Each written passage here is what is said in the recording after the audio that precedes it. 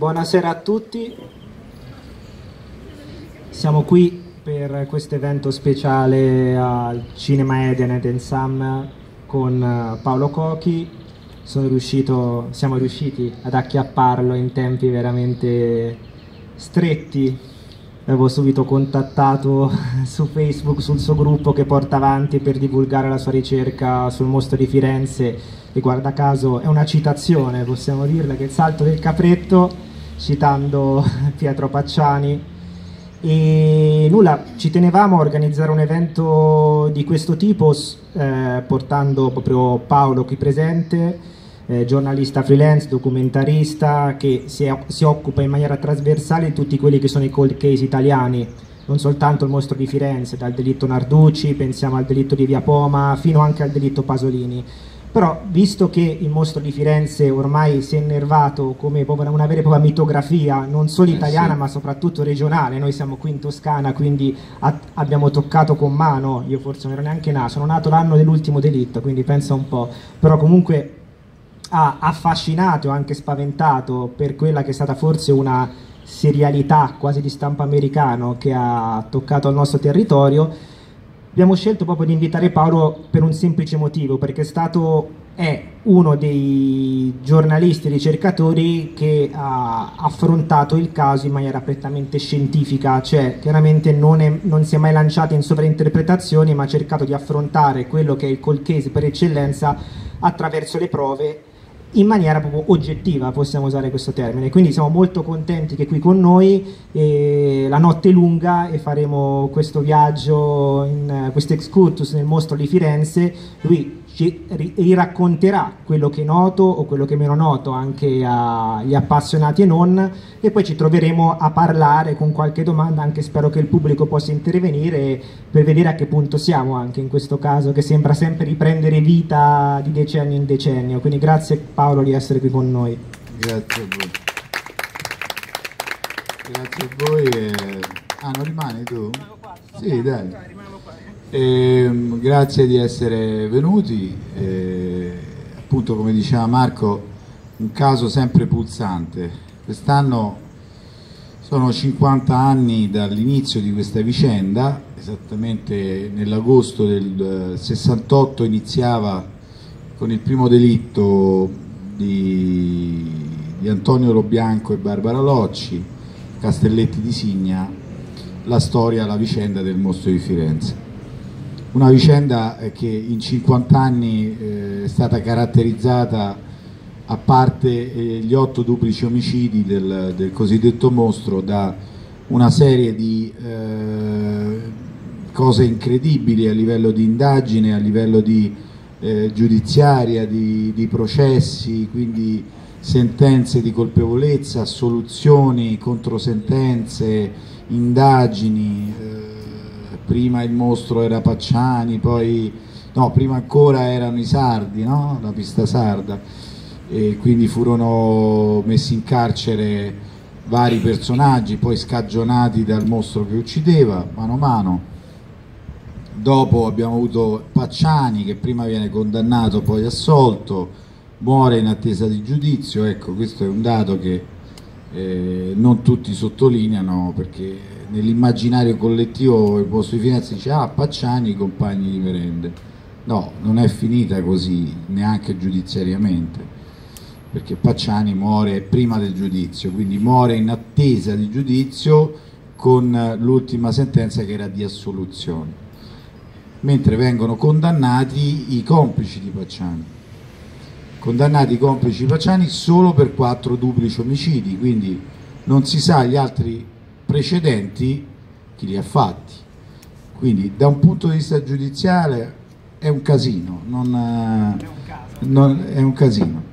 Quindi non, eh, hanno poi seguito eh, altri, altre indagini, altri processi sui mandanti, che è un'architettura non propriamente idonea a casi di delitti a sfondo maniacale, a sfondo sessuale, quindi non si è mai visto al mondo, non c'è un caso dove esistono più persone ad agire sotto un mandante per una serie di delitti a sfondo sessuale, non, non esiste in letteratura, quindi questo proposto dalla, dalla procura fiorentina dell'epoca e anche attuale mi pare perché non, non credo si sia cambiata idea, è un, caso, è, un, è un teorema che non esiste al mondo. È un teorema che potremmo anche accettare se avessimo le prove, il problema è che non ci sono queste prove, quindi è rimasto sospeso anche da un punto di vista giudiziario. E questo ha fatto sì che negli anni sono nate tutta una serie di teorie ne ho contate circa una decina, l'una diversa dall'altra, su chi era il mostro di Firenze, se era una persona, più persone, determinate persone con l'appoggio di altre, quindi e eh, ogni anno noto che specialmente i giornali, poi determinati giornali eh, e trasmissioni televisive di basso livello propongono in estate nuova, un nuovo mostro, no? L'altro anno c'era, c'era il legionario con un altro medico, poi è rimasta così per un anno, non abbiamo saputo più nulla. Quest'anno c'è stato le rivelazioni di Izzo, che conosciamo tutti come il mostro del Circeo, che ha detto determinate cose, riscontri fino adesso non se ne sono avuti, e poi c'è stato l'uscita di quel giornalista che avrebbe raccolto la confessione addirittura che sarebbe eh, un, uh, un, signore di origine americane che non solo era il mostro ma era anche Zodiac quindi con un colpo ne abbiamo presi due. Eh, questo è insomma, il quadro abbastanza desolante dell'attuale situazione del mostro di Firenze. E ora andiamo su un classico che è il classico comunque dell'identikit. No? L'identikit eh, per eccellenza è quell'immagine, quel disegno no? dove tutti a volte anche fantastica. Ora prendo l'esempio sempre visto che ormai va di moda il parallelismo di Zodiac, comunque Zodiac uno con capelli corti, montatore occhiali anni 60, magrolino potrebbe essere circa il 50% degli uomini della California degli anni 60. Qui già il mostro di Firenze inizia a avere già un, poi volevamo anche cercare di capire questo identity da cosa viene fuori, no? si sembra comunque una persona quarantina, cinquantina, c'è ovviamente chi ha cavalcato la pista compagni di merende, diceva assomiglia al Pacciani, c'è chi adesso ci vede il legionario vigilante, questi identikit è qualcosa no, di reale? Innanzitutto era alto più, farlocco, da, dall'1,80 in su, quindi Pacciani era 1,65. Vigilanti 1,85. E, mh, di vigilanti non parlo perché è indagato, quindi ah, non, si no, non, si può fare. Non si può fare. Okay. Quindi mi dispiace. E Pacciani era 1,65, i spari sul furgone dei tedeschi hanno un'altezza media di uno sparatore di 1,80 m minimo, come le impronte di ginocchio sulla panda del delitto dell'84 di Rontini e Stefanacci. Quindi qui già, da qui già nasce l'esigenza dell'accusa di trovare un complice alto almeno 1,80 Vanni. Preciso. Ma anche quindi no, tu non puoi neanche parlare delle ultime risvolte tipo Gio Bevilacqua non è indagato quindi su questo potremmo parlare in teoria. No, no. Gio Bevilacqua non, non okay, è indagato no, no, volevo parlare cioè, no, chiaramente sempre che sappia io no nel senso no certo allora possiamo parlare no sempre per cercare di tornare ai tempi moderni, moderni chiamiamola così no anche perché comunque vedendo questo, questo, nuovo ritorno del mostro attraverso, ripeto, un crossover tra Zodiac, Mostro di Firenze che penso neppure Netflix no, possa immaginare una cosa di questo tipo. Eh, eh, comunque Gio Bevilacqua è un comunque un personaggio che qualche interrogativo, nessuna volontà comunque di puntare dito ci mancherebbe, siamo qui per parlare, però quando eh, giustamente accennavi a chi ha visto e ha accusato Pacciani di essere presente nel, nel luogo del delitto, noi sappiamo che Gio Bevilacqua nel, nel 94 se non sbaglio fu testimone, fu testimone però fu testimone sbagliando un po' di cose, poi sì. può essere, e quindi cioè, lasciando stare Zodia che vedo molto improbabile la cosa, comunque un personaggio interessante o perlomeno una nuova figura che si aggiunge a questa infinita mitografia. Quindi Joe Bevilacqua, lasciando stare la parte americana, onestamente ha detto qualcosa che non tornava. No? Allora, diciamo innanzitutto come nasce. Il discorso nasce da un giornalista della rivista Tempi che avrebbe raccolto uso il condizionale perché ovviamente gli atti di, di indagine non si conoscono. Avrebbe raccolto questa testimonianza che questo signore avrebbe confessato di essere l'autore dei delitti dello Zodiaco e mi pare di aver capito anche quelli del mostro di Firenze. Entrambi. Quindi eh, da questo nasce un po' il discorso. E qual è la domanda, scusa?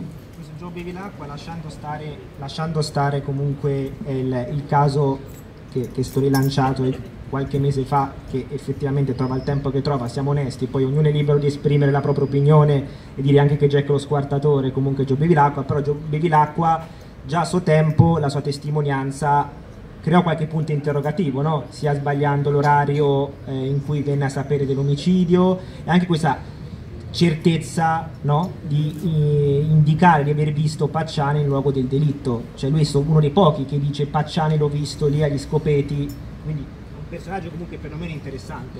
Posso, mi permetti di fare una premessa prima di parlarti di questo? Perché ho avuto e sto avendo una, già ho avuto una brutta esperienza con la trasmissione Chi l'ha visto proprio parlando di questo. Fortunatamente qui siamo in diretta e, e credo che nessuno possa tagliarci e quindi posso esprimere questo concetto. No, perché il discorso è che eh, la trasmissione Chi l'ha visto eh, non solo ha tagliato la mia intervista, ma ha eh, deformato quello che era il mio pensiero, nel senso che mi hanno chiesto chi fosse, la stessa domanda tua, Gio Bevilacqua, mi hanno chiesto che ruolo aveva al processo Pacciani, hanno preso un pezzettino e l'hanno inserito e per arrivare al discorso del giorno di Scopeti quindi dell'omicidio del, del, dei due francesi. Io ho premesso chi era Bevilacqua, che cosa aveva detto il processo, per arrivare propedeuticamente, per arrivare a dire che cosa? Che Bevilacqua si sbaglia perché sbaglia giorno, quindi sono stato tagliato e inserito esattamente al contrario di quello che io stavo affermando e quindi poi con la trasmissione di chi l'ha visto ci saranno poi delle, delle questioni di altra natura. E premesso ciò, eh, che è una cosa molto scorretta giornalisticamente, io eh, posso dire che quello che ho dissi al giornalista di chi l'ha visto, Giuseppe Bevilacqua era un testimone che si presenta spontaneamente dopo sette anni dicendo di aver riconosciuto in Pacciani eh, una persona che si aggirava poco lontano dalla piazzola di Scopeti, ma non vicinissimo, eh, un po' lontano. Però mh, non viene ritenuto attendibile perché mh, racconta dei dati piuttosto imprecisi, ecco questo del giorno racconta dei dati imprecisi relativamente all'ubicazione di dove era la ragazza con la tenda, descrive la ragazza con i capelli corti, mentre non aveva i capelli corti, aveva i capelli lunghi. Esatto. E, eh, e, quindi dà delle, delle, indicazioni, dice io abitavo a poche centinaia di metri, infatti era vero, eh, però dà le, delle indicazioni che non convincono perché non corrispondono alla realtà dei fatti e quindi viene espunto come testimone. Detto questo, eh, ci fermiamo perché Bevilacqua è stato tirato in ballo e quindi mh, da un giornalista e io ho parlato con, con il suo avvocato il quale mi ha detto che non rilasciava interviste e che eh, si sarebbe eh, attenuto ai, ai vari passaggi quindi sì, credo abbia eh, fatto querela, io non ho seguito più la situazione e quindi eh, non mi sento di esprimere un'opinione su uh, una persona che conosco solo pochissime cose. Insomma. Ma però mi sa, mi sa, un po' di, di scoop estivo questo di, di, chi l'ha visto, cioè molto di scoop estivo, perché hanno tirato fuori una lettera che tra l'altro gli ho dato io del 1988 che arrivò una lettera alla vecchia redazione a un giornalista Paolo Vagheggi della, della Repubblica dove arrivò una lettera dove c'erano dei segni astrali e loro io l'ho data al giornalista di chi l'ha visto eh, dicendogli che è accompagnata da una perizia della polizia scientifica che non la attribuiva al mostro, quindi era stata scartata. E loro ci hanno fatto sopra un servizio dandogli invece valore, cioè eh, dandogli un po', diciamo, usando il condizionale sicuramente, però creando un'enfasi intorno a questa lettera che in realtà non dice assolutamente nulla. Ma quindi sa di scoop estivo questa, questo servizio di chi l'ha visto.